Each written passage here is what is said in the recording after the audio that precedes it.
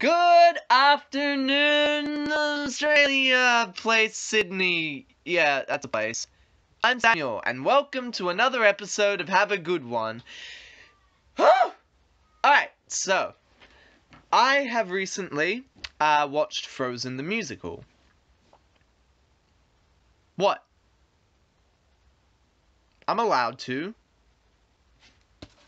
I don't care if it's conveyed as being a kid's show. I don't care. It's not. It's not that I knew anyone in the show, and it was actually a really exciting thing for everyone involved in it, and so I went to support them. Nothing like that. I just watched it. And also, as I was watching it, I realized that I could make a video about this, so hey, look at that. I mean, wait, no, I was planning on making a video of this from the start, which is why I watched this, because it's a kid's show. How could I watch it anyway? So, for those of you who don't know about Frozen, I'm actually kind of impressed. Like, how? How'd you manage?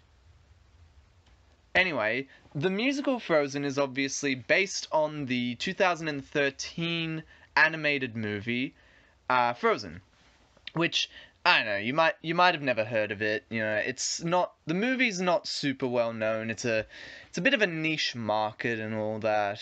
Uh, you know, it's uh, not. I don't think a huge amount of people know it. Like. Uh, what was it? Uh, apparently, it was the highest grossing animated film of all time. In fact, I think it still is. Uh, as well as being the fifth highest grossing movie of all time at some point. Okay, hold up. Never mind. I'm mistaken. Frozen is no longer the highest grossing animated film. Uh, it's been it's since been overtaken by Frozen 2 and the 2019 remake of The Lion King. Meanwhile, the actual Lion King is in 12th now. Minions is 5th! How is Minions 5th? Okay, anyway with that out of the way, the musical is also so the musical came out in 2018, no, 2017 originally in Denver. Uh, and then it came out on Broadway in 2018, then did a US tour in 2019. Uh, obviously, because of certain things that happened during that year, that year, uh, they had to suspend performances, but apparently they're doing an Australian tour of it. So that's pretty cool. Good to know that they managed to make it through that. But anyway, so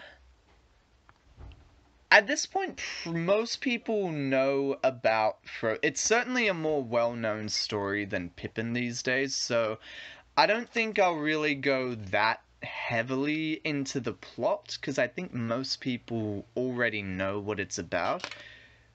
Or, I don't know, maybe nothing will change. But for those of you who don't know, I did a video on Pippin before, and what it was all about was I looked at it, looked at the morality, the morals that the story shows, and what the. how well that morality, how well those morals are upheld in modern times.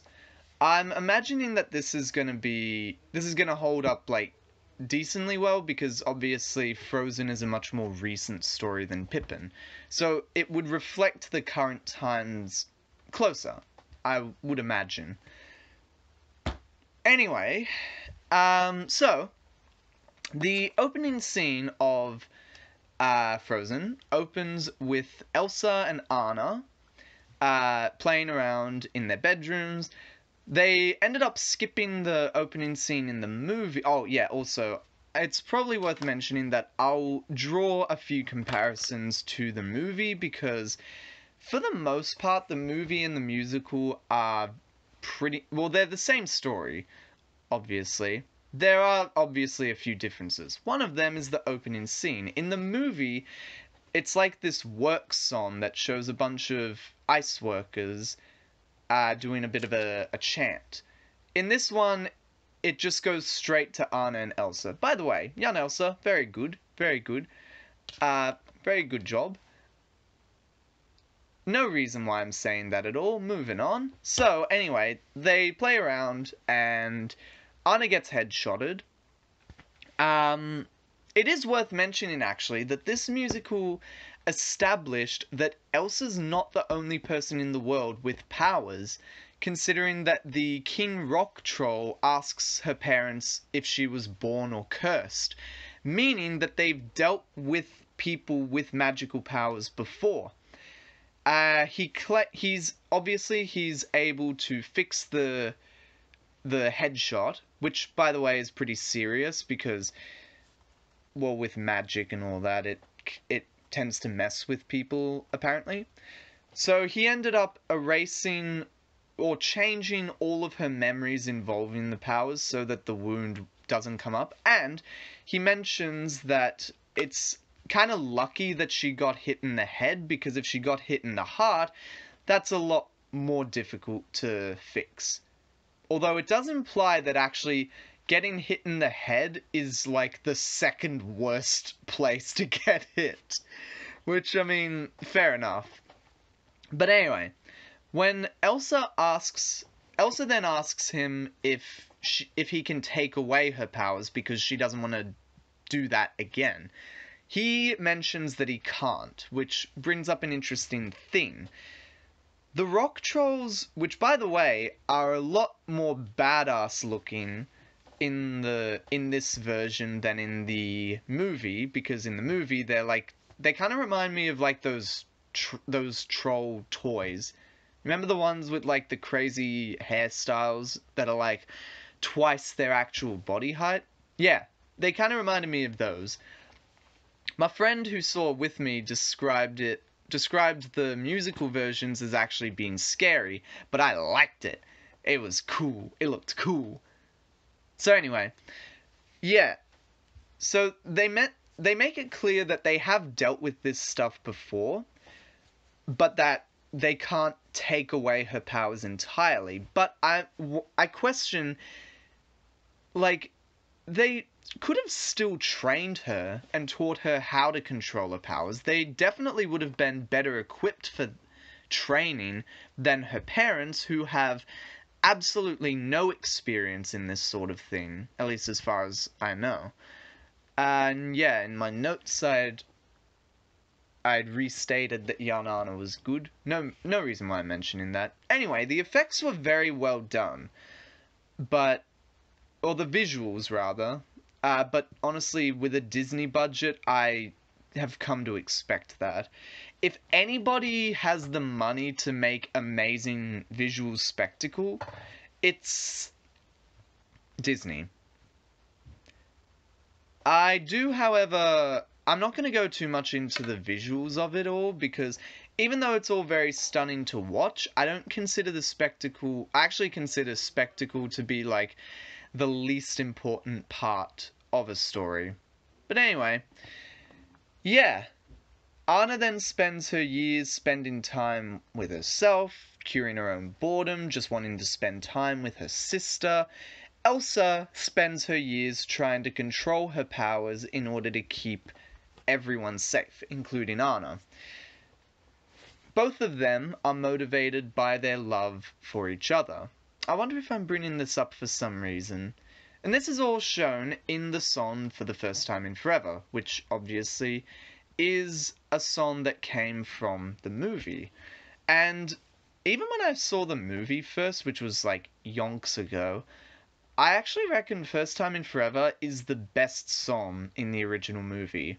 Because it shows the two sisters heading towards the same path, but with differing goals and attitudes.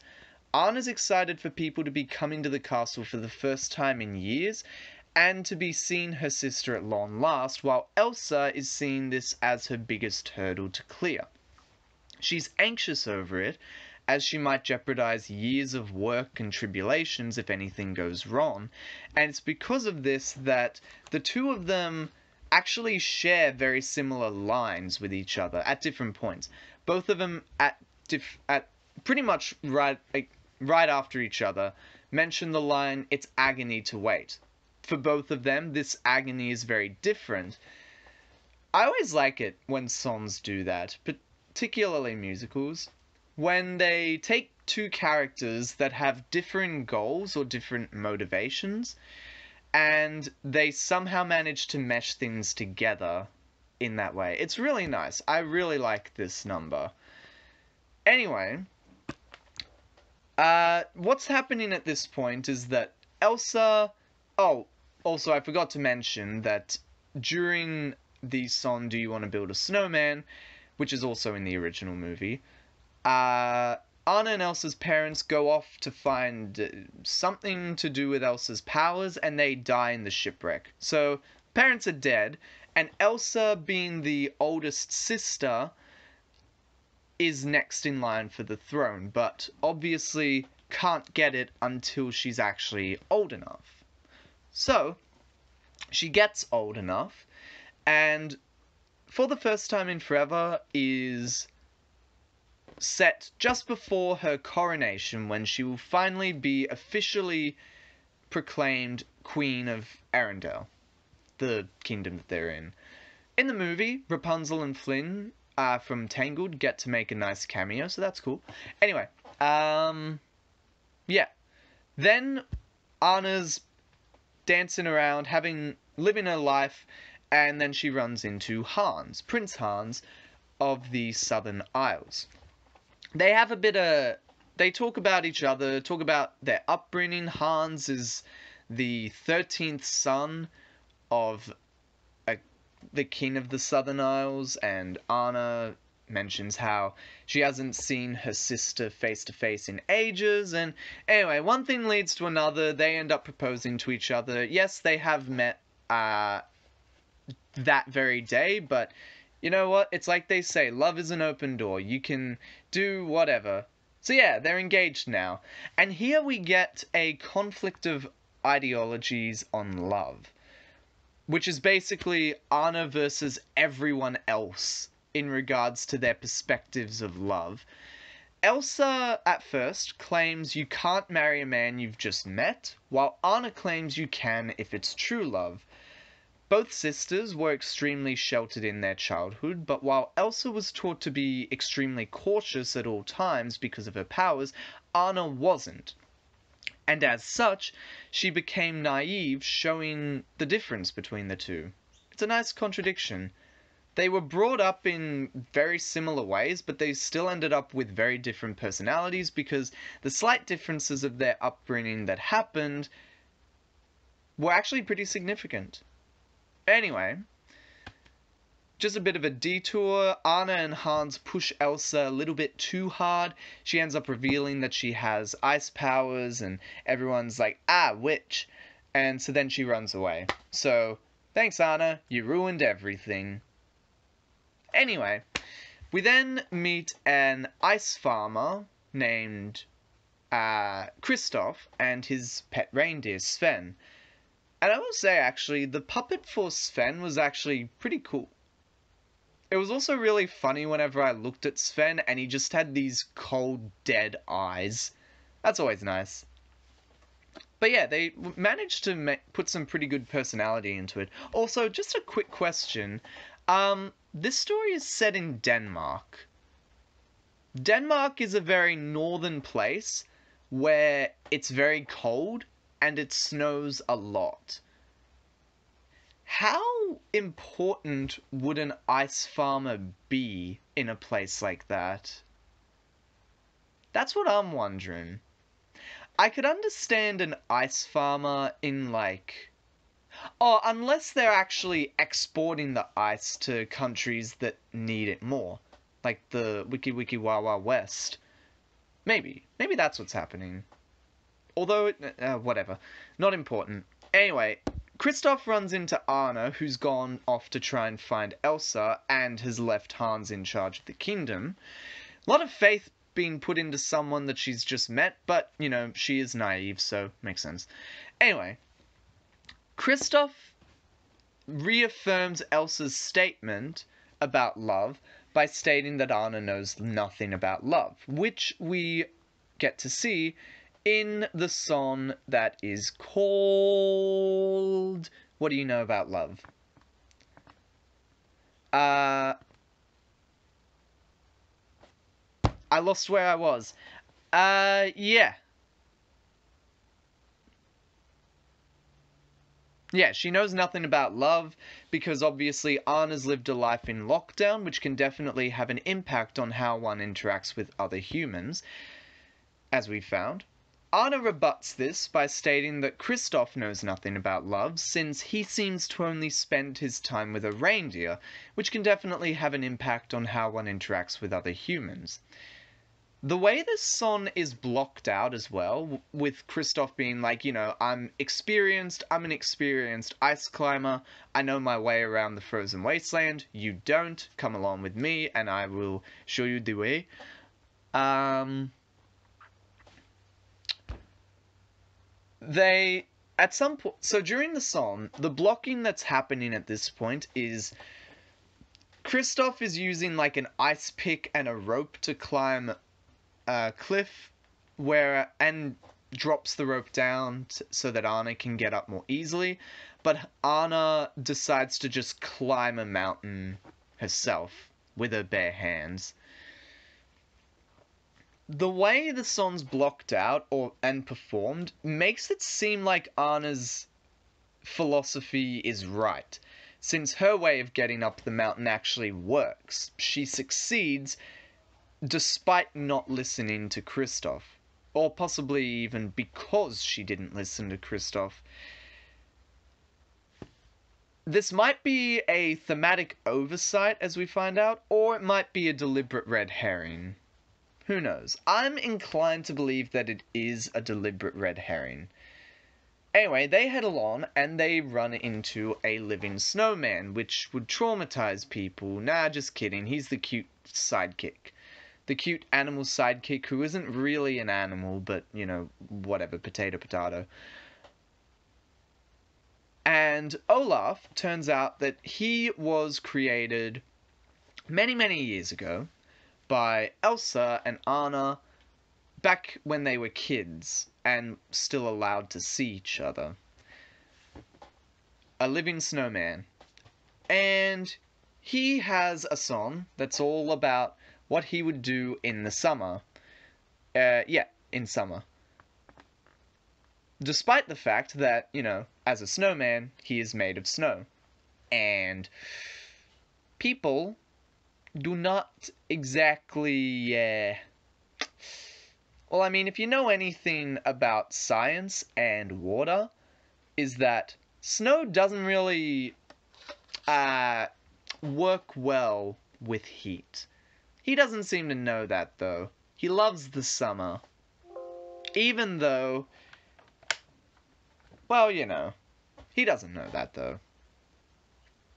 Anyway.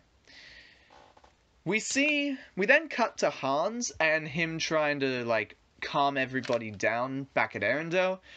And we see him being a very competent leader, rallying the people, giving them hope, even vouching for Anna and Elsa when others were ready to abandon them.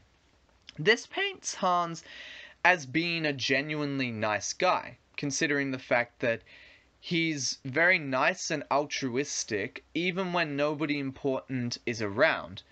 And he does things that really aren't beneficial to him if he were a villain.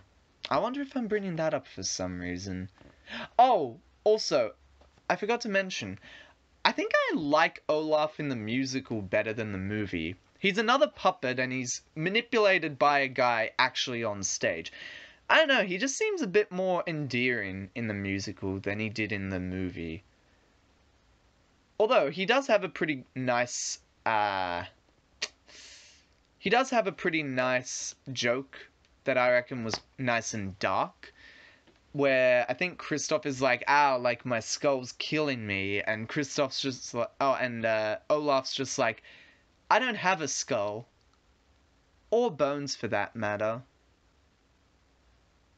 So, where are we going? I don't know. Dark humor, yay. Anyway, then at this point, we've reached the end of Act 1. We've reached the Act 1 finale. And of course, the Act 1 finale is going to be Let It Go. Like, of course. I mean, I will say though, it's it's an interesting villain song about the main character throwing away everything she strived for for her own self gratification. Oh, what's that? Or did you think that I was gonna talk about how empowering the song is? Nah, nah, nah, nah, nah, nah, nah, cause it ain't. It ain't, son. Now, whenever this song comes up in conversation, which in my group of friends actually doesn't happen that often, I always ask why, like, out of all the songs in Frozen, why was this the one that became super popular? Everyone says that it's a super empowering song, but it's actually more of a villain song, which makes sense considering that Elsa was originally going to be the villain of the story. For those of you who don't know, this story is loosely based on Hans Christian Andersen's 1844 story, The Snow Queen. In that story, the titular Snow Queen, who obviously is Elsa, lives in a castle made of ice and kidnaps a boy named Kai and his friend Gerda travels there to rescue him. I probably butchered that pronunciation. Also, if the idea of a Snow Queen kidnapping a boy sounds familiar, well, uh, just before you draw any parallels, this book actually, this story actually came out before The Lion, the Witch, and the Wardrobe.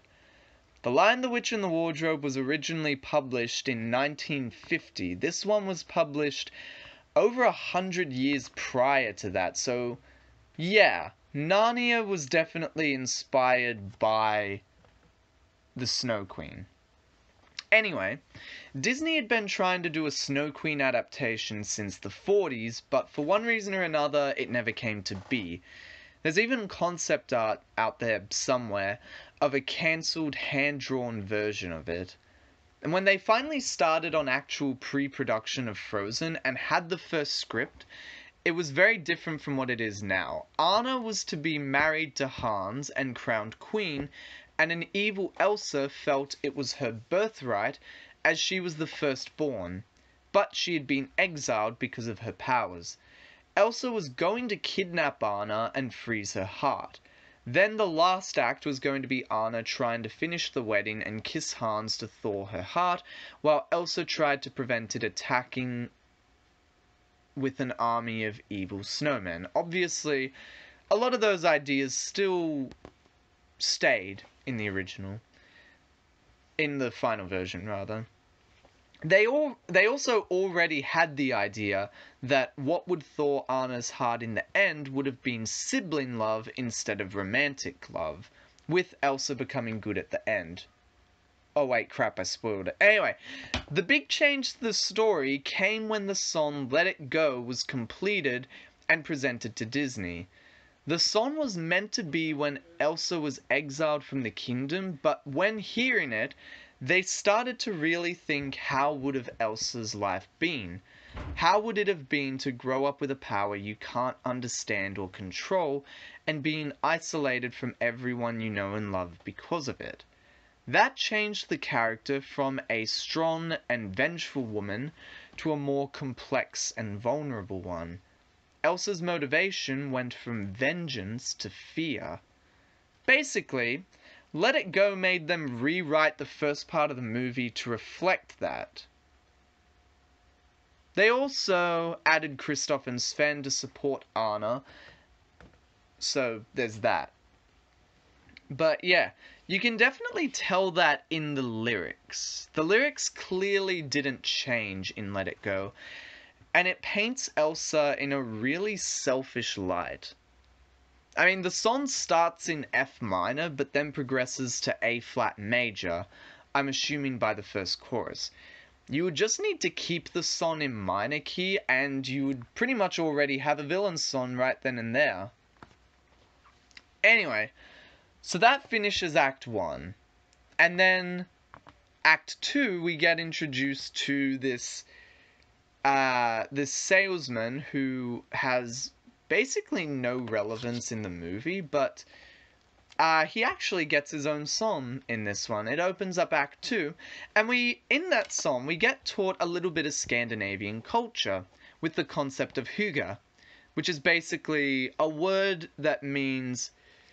It's a word in, I believe, Danish and Norwegian culture that means cozy and comfortable living with feelings of wellness and contentment. It's nice that we get a bit of a culture lesson from an entire family tree of eccentric sauna dwellers. I bring this up because I know I would have been lynched if I didn't include this song. Anyway, eventually, Anna, Kristoff, Sven, and Olaf make it to Elsa's castle. And Anna gets everyone else to leave the room while she has a one-on-one with Anna, uh, Elsa. anyway, so here's the thing. We then get the song I Can't Lose You, a duet with Anna and Elsa in it. Originally, in the original version of the musical, and also in the movie, the song that plays at this point in the movie is uh, a reprise of the first time for the first time in forever. Instead, so and yeah, that was originally in the first few re- productions of the musical, but then come February 2020 uh, they decided to change the song for some reason. They decided to make an entirely different song, completely original to the musical, to replace it instead. And I will say, I reckon that was a pretty good addition. I Can't Lose You might be my favorite musical exclusive song. It shows the two sisters who have led very different journeys, both fighting for the same goal, that being the protection of their sister, in a pretty interesting light. Anna goes on a perilous journey to save her sister, and Elsa runs away to protect her sister. In the end, Elsa strikes Anna's heart, which is pretty bad, as we know from the beginning of the story, so Kristoff rushes to the rock trolls who raised him and Sven which is actually referenced in the beginning of the story where the queen rock troll says like oh we love kids. We even picked up a few strays ourselves.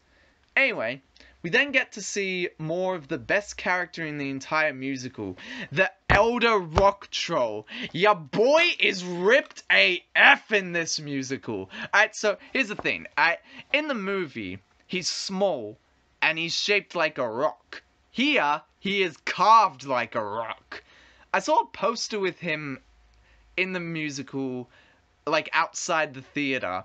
And initially I thought that they were advertising for a Tarzan musical, but no! We got Tarzan the Rock Troll. I ship him. Not with any character in particular or anyone. I just ship him. Then we get the song Fixer Upper, which has always annoyed me the song has always annoyed me, even when I first heard it in the movie, because I think mostly because they're having this big song and dance number, and I'm just sitting here like, bruh, she's dying here. Just shut up and listen to Kristoff. But then in the musical, he tries to get them to listen to him, and then he starts joining in on the fun, joining in on the dancing and the singing, and he seems to forget that Anna's dying, and he's like, ah! And then at the end, the rock troll's like, oh, why didn't you tell us? And I'm just like, bruh! What do you. Ugh. Anyway, it turns out that a strike to the heart is pretty pretty bad. The only way that she can actually be saved is to have an act of true love. They take they interpret this as being, you know, a true love's kiss, obviously. So Kristoff goes off to find Hans, who he knows that she and Hans have a thing for each other. So she goes to. So he takes her back to the castle to find Hans. Anyway, meanwhile, Hans has gone with a small group of people to try and capture Elsa, to try and bring her to justice, you know. and try and, you know, stop her from endangering other people. And we get a song from Elsa that's called Monster, which might also be my favorite musical exclusive song. It shows Elsa's internal monologue and shows through the song why she actually decides to surrender in the end. Obviously, this is replay in the movie. Elsa actually has a full-on fight with the people who go to her. Obviously, they couldn't have a full-scale fight scene with ice flinging all over the place because that would have been very difficult to do. Would have been cool, but it would be very difficult to do. So they had a song instead, which I reckon works nicely. Anyway, they get Anna to Hans and she explains the situation to him and he's very he's like very happy to see her actually. Uh so yeah, she needs a true love kiss to survive, and Hans goes to kiss her, but stops himself, saying, Oh, Anna, if only there was someone who loved you. And this is where we discover that Hans is actually evil. Now, I've had a problem with this. This happens in the movie as well. You remember when I had said that originally Anna was married to Hans and Elsa was the villain? Well, I guess when they decided to make Elsa more of a sympathetic character, they were like, oh wait, we need an antagonist. So they just made Hans the antagonist. I have a lot of problems with Hans. I think he's a pretty bad villain, to be honest. And I don't mean like one of those bad villains who is like, you love to hate them, like Scar, or Jafar, or Ursula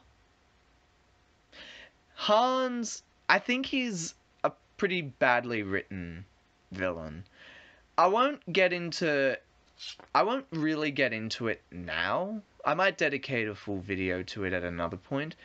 But uh just for now, I'll just say one of the problems I have with him is what I was kind of foreshadowing before. He goes from being this genuinely nice guy with absolutely no hints of him having ulterior motives to becoming a cartoonishly evil villain with complete with like Bond villain level monologues and cliched lines. Like, for example, when he's about to leave the room, Anna's like, You'll never get away with this. And Hans is like, Oh, I already have. It's like, bruh, like, could you get more cliched than that? Also, he becomes a total sadist who just loves committing evil acts now. The thing is, as far as I'm concerned, you can't have a twist villain that's that cartoonishly evil. Because he is a twist villain. Anyway, um, that's all I'm going to say about Hans. I could say more, but I won't. The point is that from this we find out that Elsa and Kristoff's perspective of love was actually correct, and Anna's naivety and stubbornness very nearly got her killed. Anyway, they then try to find Kristoff, who seems to be a better shot now of a sign of true love, but before they can do anything, she sees Hans about to kill Elsa, and Anna jumps in the way. This is in the song this is shown in the song uh, Colder by the Minute. Anyway, the way that they show Anna jumping in the way and freezing over is actually really clever, I reckon. The ensemble swarms Anna, and then she like stretches her arm out in the way of Hans's sword, as the projections display an ice effect on this wall of people. That I reckon was r- really clever. And that whole sequence uh, in Colder by the Minute, where the four main characters are all searching for each other, I reckon is really well done. Anyway, Elsa cries over Anna's sacrifice, and then Anna starts to thaw out. The act of true love was one that Anna performed herself, an act of sisterly love. And this brings me to something I discovered about the different types of love, which is kind of important to this story. So, the Greeks have eight different types of love, apparently, that can be divided into three different categories love between friends, love between family, and love between a significant other, or love between significant others. The significant other love includes, I'm going to botch the pronunciations, but the significant other love includes pragma, which is enduring love, eros, which is romantic or physical love, and ludus, uh, playful love. The friend's love includes philia, not what you think it is. It's uh, like an affectionate love, uh, which obviously can be like a platonic type of love. Storge, uh, familiar love, which also involves familiar love, which is also part of family love, and philautia, uh, self love. The most significant for this show is the love among family, which also includes storge and philia, as well as agape. I'm gonna get lynched. Uh, which is selfless love. Then you also have mania, which is obsessive love, but that one's considered an inherently bad thing, unlike the other seven. I bring this up because Frozen is a princess movie by Disney that subverts the idea of romantic love being the thing that saves the day, but sisterly love instead. Which I think I think would be like just looking at the definitions of those types, it would be philia. Again, not what you think it is. Anyway, Elsa then realizes that love was the solution to her freezing problem and used love to thaw everything instead of fear. We're getting some Donnie Darko love versus fear stuff going on him going on here. Anyway, the story the musical finishes with a beautiful Danish hymn which is called Wet Welje uh, which you might recognize from the Frozen 2 trailer, because I heard it in that, and I loved that track. So, well, yeah, it's great. And that's the story. So, what morality does this story show, and how well does it hold up? Well, I think it's pretty obvious what this stuff is. First of all, one of the main morals is that to fall in love with someone you've just met is naive and setting yourself up for failure.